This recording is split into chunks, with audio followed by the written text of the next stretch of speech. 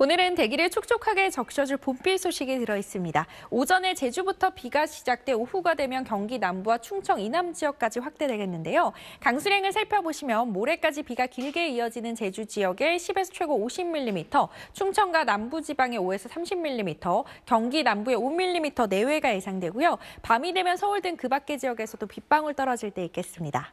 날은 올 들어 가장 따뜻합니다. 아침 공기 어제보다 더욱 부드럽게 출발하고요. 낮이 되면 서울의 기온 24도, 성남은 무려 26도까지 오르면서 낮 동안에 다소 덥게 느껴지겠습니다.